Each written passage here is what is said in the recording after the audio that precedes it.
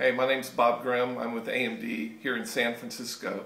And what we're doing here is we're bringing out and showing off our new APUs. And I have a sample of a chip right here. As you can see, it is extremely small, but also it's extremely powerful, as you can also tell from the demo.